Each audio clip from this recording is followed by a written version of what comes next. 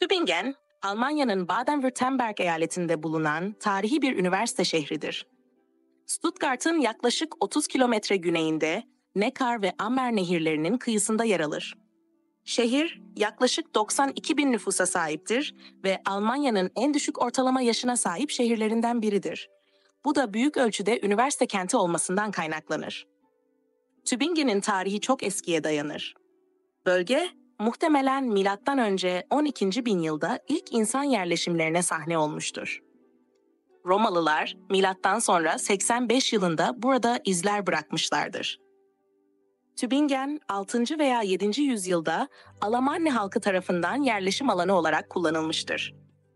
Şehir 1078 yılında ilk kez yazılı olarak anılmıştır ve 13. yüzyılın ortalarında şehir statüsü kazanarak sivil özgürlüğe kavuşmuştur.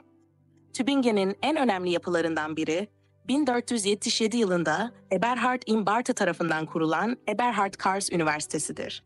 Bu üniversite Almanya'nın en eski ve en prestijli üniversitelerinden biri olarak kabul edilir ve 500 yılı aşkın bir geleneğe sahiptir. Üniversitenin kuruluşu Rönesans dönemi öğrenme canlanmasından etkilenmiş ve o dönemin büyük düşünürlerinden Hegel, Hölderlin ve Schelling gibi isimler burada eğitim görmüştür. Şehir, tarihi ve mimari açıdan da zengindir. Orta çağdan kalma binalar, dar sokaklar ve tarihi kale gibi yapılar şehirde bulunmaktadır. Tübingen Kalesi ve Hohentübingen Müzesi, şehrin tarihi mirasını yansıtan önemli mekanlardandır. Ayrıca Tübingen'in coğrafi konumu da dikkat çekicidir. Şehir, güzel doğa parkları ve Swabian Alp dağlarına yakındır. Tübingen, tarih boyunca hem akademik hem de kültürel açıdan önemli bir merkez olmuştur. Şehrin dinamik yapısı, tarihi dokusu ve öğrenci nüfusunun yoğunluğu, Tübingen'i Almanya'nın en canlı ve çekici şehirlerinden biri haline getirmektedir.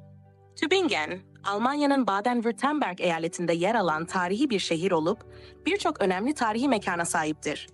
İşte bu şehirde ziyaret edilebilecek bazı önemli yerler. 1. Hohentübingen Kalesi. Bu kale şehir merkezine hakim bir tepe üzerinde yer alır.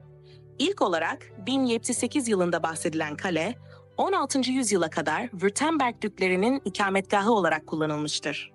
Günümüzde Eberhard Karls Üniversitesi'nin çeşitli kültürel ve arkeolojik koleksiyonlarına ev sahipliği yapmaktadır.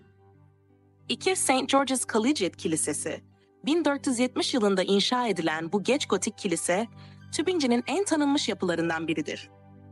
Kilisenin vitrayları Peter Hamel of Andlau tarafından tasarlanmıştır ve kilise, Martin Luther'in Protestan kilisesine dönüştürülen ilk kiliselerden biridir.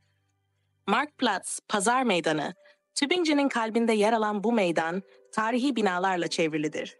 1435 yılında inşa edilen belediye binası Rathaus, 1511 yılında eklenen astronomik saatiyle dikkat çeker. Meydan, restoranlar, kafeler ve dükkanlarla doludur. Bu da onu ziyaretçiler için cazip kılar. 4. Hölderlin Kulesi Şair Friedrich Hölderlin'in bir dönem yaşadığı bu kule, Neckar Nehri kıyısında yer alır ve şehrin en çok fotoğraflanan noktalarından biridir. 5. Tübingen eski şehir. Dar sokakları, eğimli çatıları ve tarihi yapılarıyla Tübingen'in eski şehri, ortaçağ atmosferini koruyan bir bölgedir. Burada yürüyüş yapmak ve şehrin tarihi dokusunu keşfetmek oldukça keyiflidir. Bu mekanlar Tübingen'in zengin tarihini ve kültürel mirasını yansıtan başlıca yerlerdir. Şehri ziyaret edenler için bu tarihi noktalar unutulmaz bir deneyim sunar.